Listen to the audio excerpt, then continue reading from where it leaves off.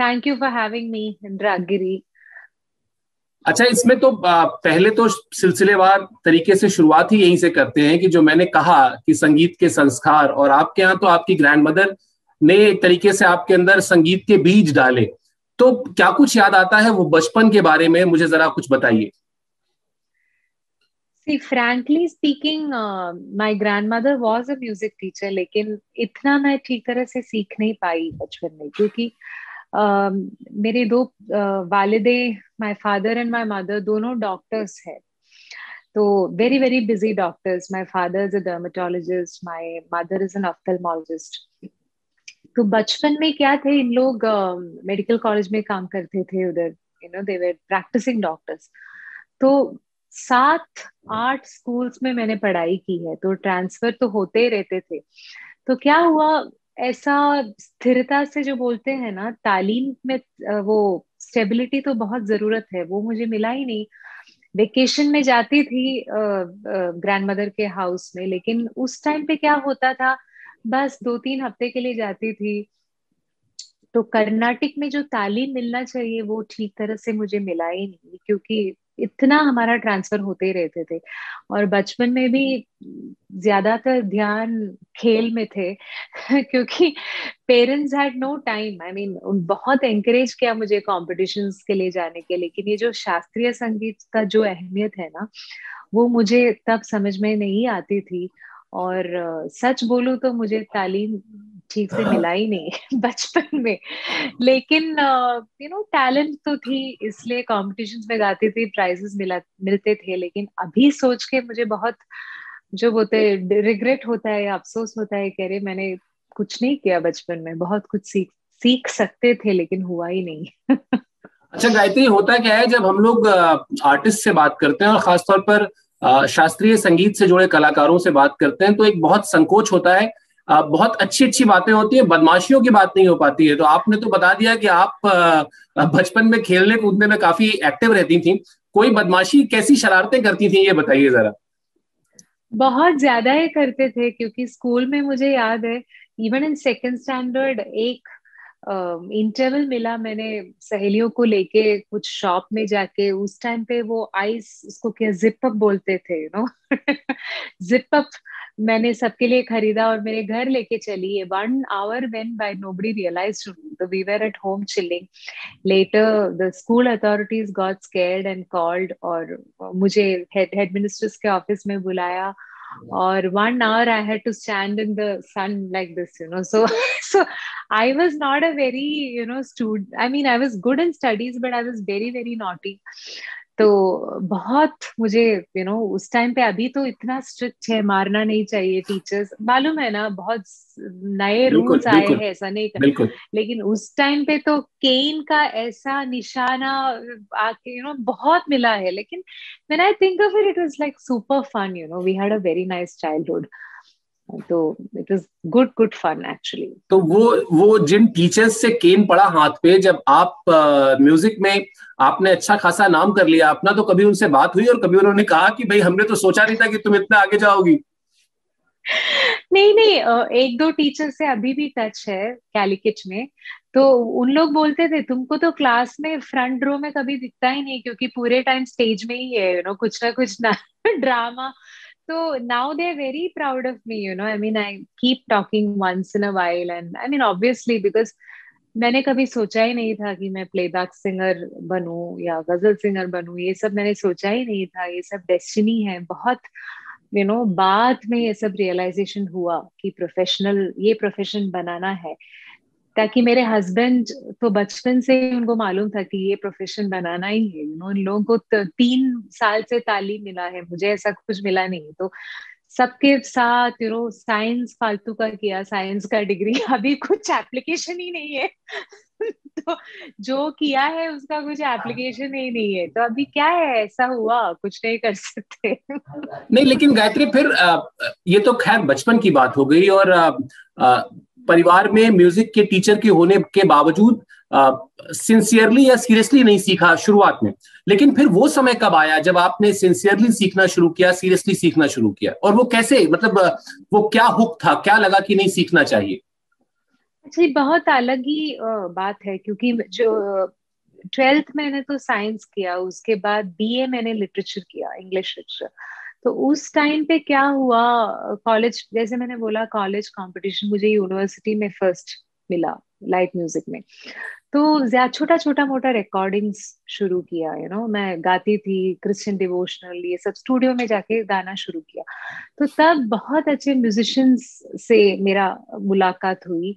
तो इन लोगों ने मेरी आवाज़ सुन के मुझे बहुत सारे गज़ल का कैसेट्स दिया सुनने के लिए, उस टाइम पे कैसेट्स थे। तो मैंने गज़ल कभी सुनाया ही नहीं, सुना सुना ही नहीं। तो पहली बार मैंने जगजीत सिंह जी को सुनने का मौका मिला, हरिहरन जी, मेहदी हसन साहब, गुलाम अली साहब, फिर परवीन सुल्ताना जी, किशोरी अमोनकर तो एक अलग ही नई, नया जो दुनिया है मेरे यू नो मेरे सामने आया। तो मैंने सोचा, अरे, ये तो बहुत रूहदार संगीत है। तो कर्नाटिक से बहुत अलग है। Carnatic also I like but vocal style I was really fascinated by Hindustani music so I was like I really want to learn the style of singing you know तो मैंने थोड़ा कोशिश की गज़ल सब कैसे सुन के पढ़, पढ़ने के लिए। लेकिन उससे तो बात होगा ही नहीं। अगर सीखना है तो अच्छी तरह से सीखना ही पड़ेगा। तो अलका मारुलकर जी उस टाइम पे पूना से कुछ ने कॉन्सर्ट के लिए आई थी और मैं सुनने के लिए गई। और मुझे ऐसा प्यार हुआ you know when I heard a live concert it's beautiful singing तो मैंने उनसे पूछा, मैं आपसे सीखूं? मुझे तालीम लेने का बहुत ख्वाहिश है। तो उन्होंने बोला, नहीं नहीं, मैं तो बिगिनर्स को नहीं सिखाती हूँ और आपको तो हिंदुस्तानी मालूम ही नहीं है, आपने यू नो कुछ बेसिक्स भी मालूम नहीं है। तो चलो, ठीक है, खैर, कुछ तो गाओ। तो मैंने कर्नाटिक जो भी मुझे मालूम है, एक छोटा सा भजन गा के सुनाया और उसको, उनको बहुत अच्छा लगा। और मेरे पेरेंट्स के सपोर्ट से मैं पूना गई हिंदुस्तानी क्लासिकल सीखने के लिए। तो उस टाइम पे ये बहुत बड़ी बात थी, क्योंकि ऐसा केरला से कोई नहीं जाती थी नॉर्थ इंडिया में म्यूज़िक सीखने के लिए। तो मैंने you know I took that decision thanks to the encouragement from my parents और दो साल पूरा बेसिक्स यू नो पलटा वल्टा कैसा हम्म, आकार हम्म, तान। हम्म, ये सब ये सब मुझे मालूम ही नहीं था। मुझे नोटेट करना भी मालूम नहीं था सच में बताओ। मुझे ये कोमल ऋषभ ये सब मालूम ही नहीं था ऐसा होता है क्योंकि एकदम मैं पैरट जैसा कैसेट से सीखती थी। तो जो बेसिक फंडा है म्यूज़िक का थियरी कुछ नहीं मालूम थी मुझे। तो उन्होंने ऐसा अच्छा तालीम दिया मुझे और दो साल मैं पूना में रह के मेरा बेसिक फाउंडेशन जो है अच्छा उन्होंने बिल्ड किया।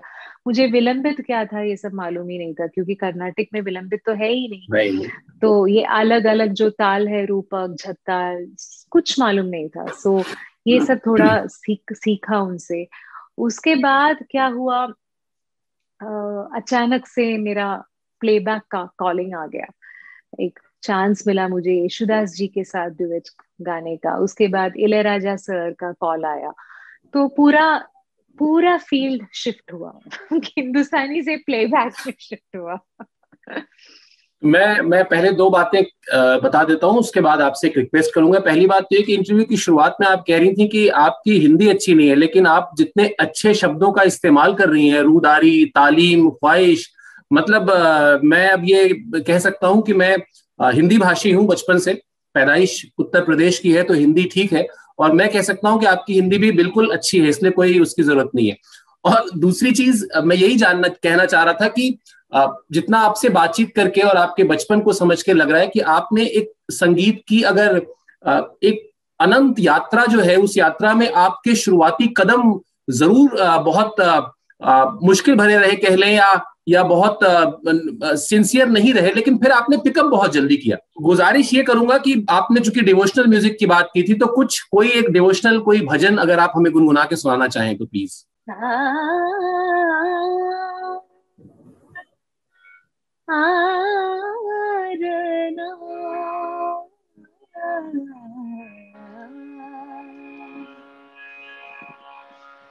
आ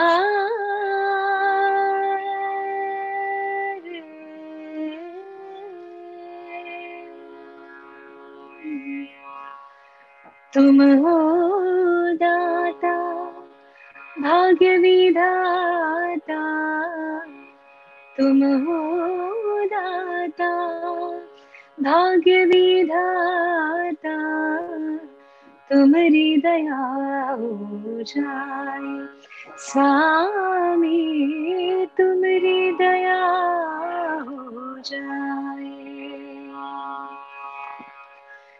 लोभ कपट और मोह की नागिन।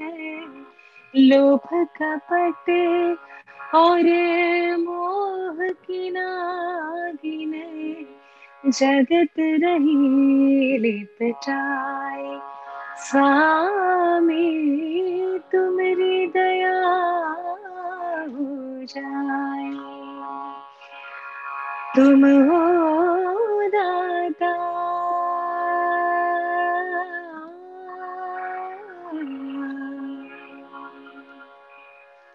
क्या बात है? और इसी से जुड़ा अगला सवाल ये है जिसका ज़िक्र आपने भी किया और जो प्रश्न मैंने सोचा भी था कि मैं आपसे पूछूँगा। प्लेबैक हाँ. सिंगिंग में आपके आपकी शुरुआत ही यसुदास जैसे कलाकार के साथ हुई जो आ, मतलब हिंदी फ़िल्मों में भी जिनके गाने आ, सुपर डुपर हिट रहे हैं।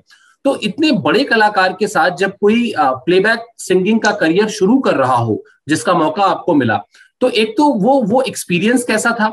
और एक सीनियर गायक और एक बड़े कलाकार के तौर पर यसुदास से सीखने को क्या कुछ मिला गायत्री जी को? देखिए उस जमाने में उस जमाने मतलब तब भी ट्रैक का तो सिस्टम था।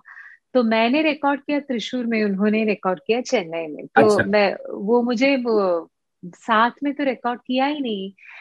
तो रिकॉर्डिंग करने के बाद वो मामूटी जी का मूवी था रिलीज़ हुआ, तब मुझे पता चला कि ये डुएट है ऋषदास जी के साथ है तो मुझे बहुत हैरान, ऐसा हैरान हुआ और ऐसी खुशी हुई।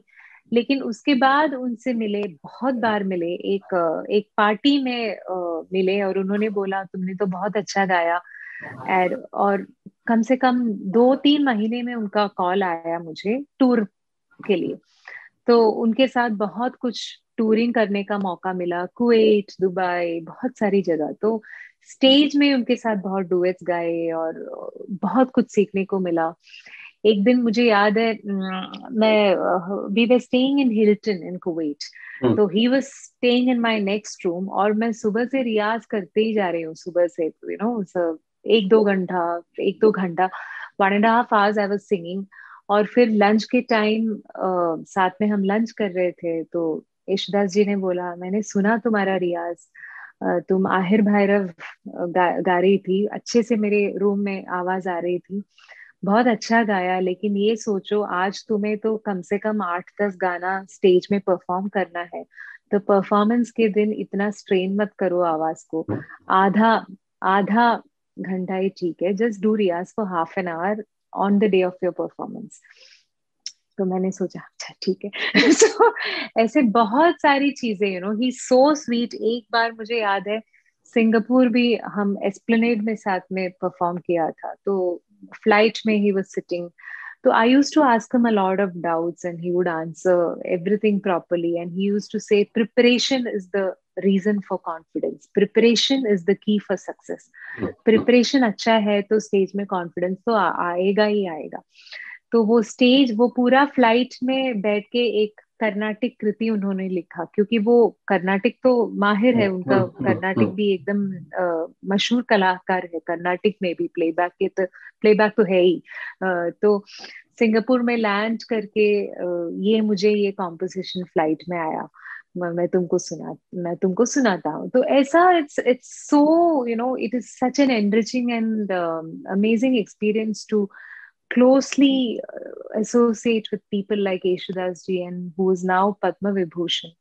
So uh, from my career days, he's always been so so encouraging. अभी भी बात तो होता ही तो I am very very lucky to have his guidance अच्छा और एक इसी से जुड़ा अगला सवाल मैं ये भी आपसे जानना चाह रहा था कि आपने जब विनायक तोरवी जी से सीखा जो पंडित भीमसेन जोशी जी के शिष्य रहे हैं और आ, मतलब पंडित भीमसेन जोशी को तो हम लोग जो ख्याल गायकी है, उसका स्कूल कहते हैं, अपने आप में पूरा इंस्टीट्यूशन रहे। और प्लस किराना घराने की गायकी। तो क्या चैलेंजेस आए आपके सामने? क्योंकि अभी आपने खुद ही कहा कि आपको विलंबित क्या होता है, नहीं पता था। या उतनी उतनी जो टेक्निकल चीज़ें हैं, शुद्ध शास्त्रीय गायन की, और उसके बाद फिर सीखना, और सीखने में भी जो कह सकते हैं कि जो सबसे प्रतिष्ठित घराने हैं भारतीय शास्त्रीय संगीत के, उनमें से एक घराने के गुरु से सीखना। तो क्या शुरुआत की अड़चने थी? क्या शुरुआत की दिक्कतें थी? दिक्कत तो बहुत थी क्योंकि एक तो मैं प्लेबैक में इतना बिज़ी थी। हम्म। तो पूना से वापस आई क्योंकि मुझे बहुत सारे कॉल्स आया रिकॉर्डिंग रिकॉर्डिंग सब के लिए तो मुझे शिफ्ट करना ही पड़ा पड़े पड़ा क्योंकि क्यों कोई भी पूना से तो नहीं बुलाएँगे चांसेस के लिए तो उधर रहना ही पड़ेगा साउथ में।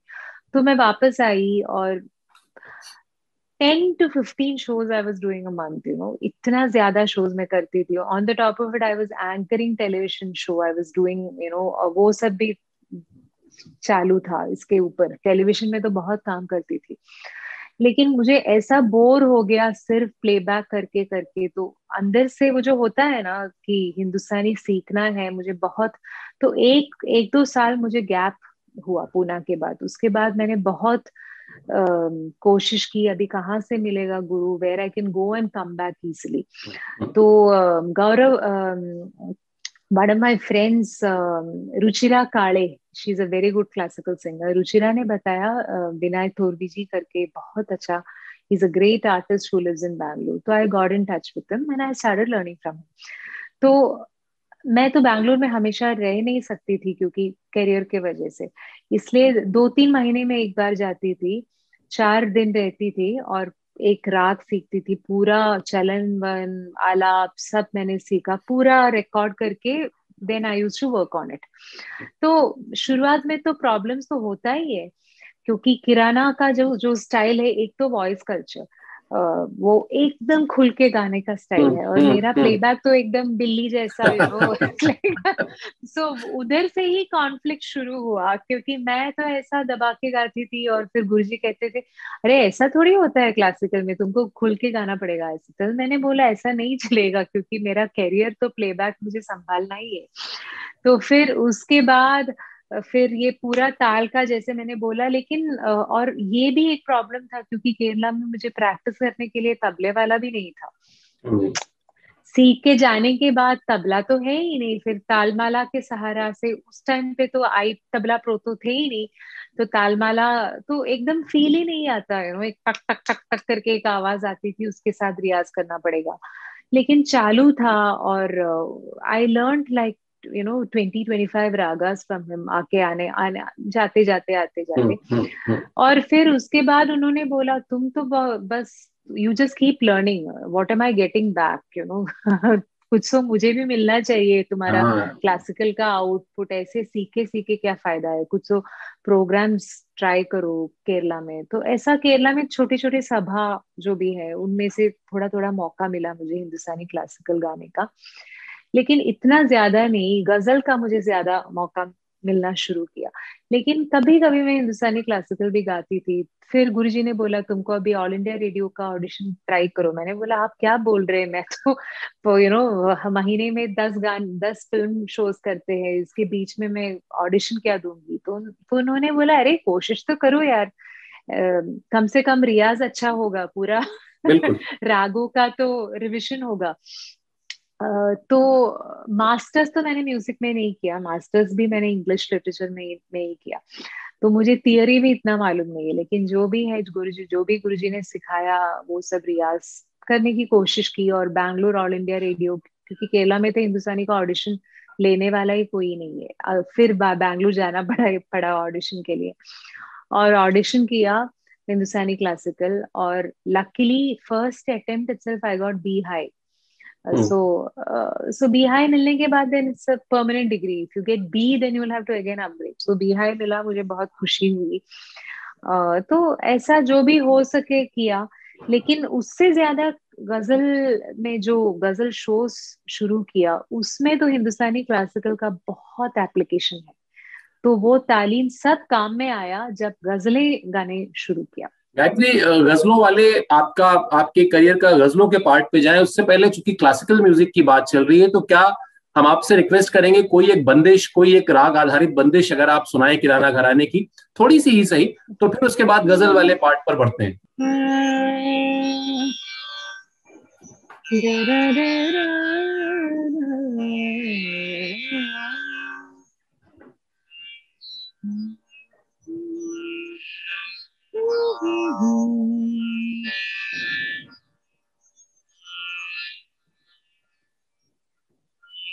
Dasare Gama Gama Dasare Re Gama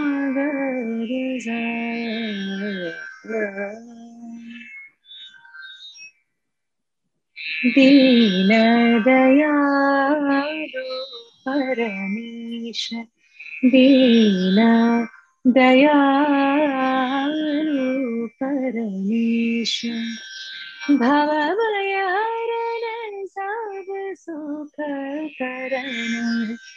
भवभयहरण सब सुख करण। दीन दयालु परमेश्वरीन दया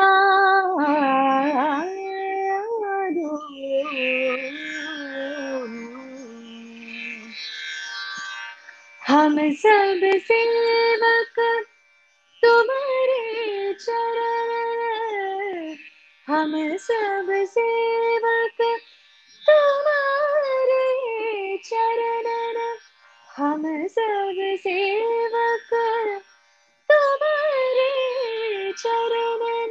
सो दरा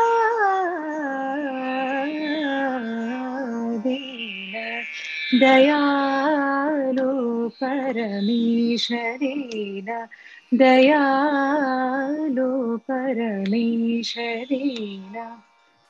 गम गम र सा स र म ग रे ग म ग रे ग रे सा रे न दया। ग ग रे ग म म ग रे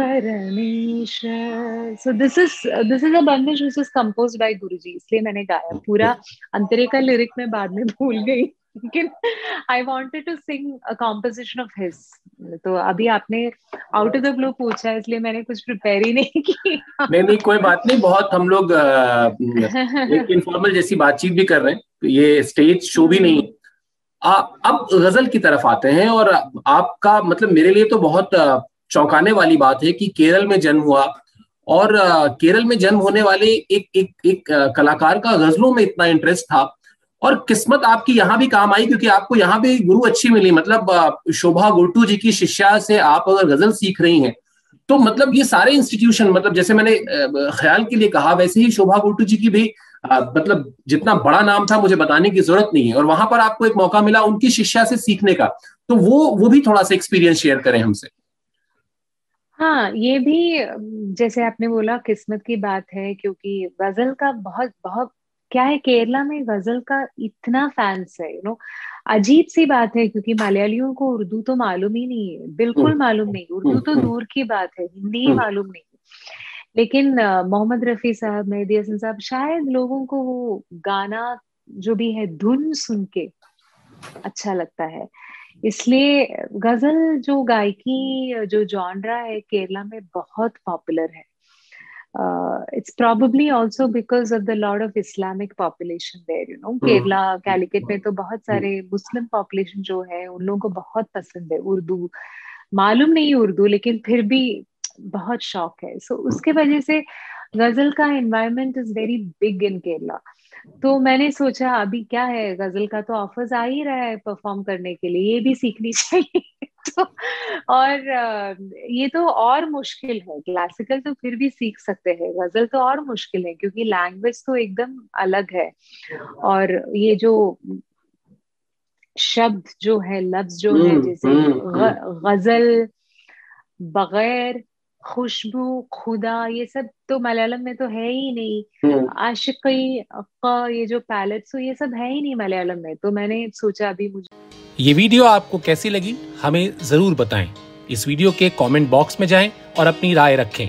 इसके अलावा रागगिरी को सब्सक्राइब करें और बेल नोटिफिकेशन ज़रूर प्रेस करें, जिससे जब भी हम कोई नया वीडियो लेकर आएँगे, आपके पास जानकारी यानी नोटिफिकेशन पहुँच जाएगा। आप वक्त हो तो तुरंत देखें, नहीं तो बाद में भी इस वीडियो को देख सकते हैं। हम आपको बता दें कि रागगिरी भारतीय शास्त्रीय संगीत के बारे में जागरूकता फैलाने का एक मंच है, जो एक रजिस्टर्ड ट्रस्ट है और 2014 से हम छोटे बच्चों के लिए खास तौर पर ये मुहिम चला रहे हैं, जिसका टाइटल है, सुनेंगे तभी तो सीखेंगे।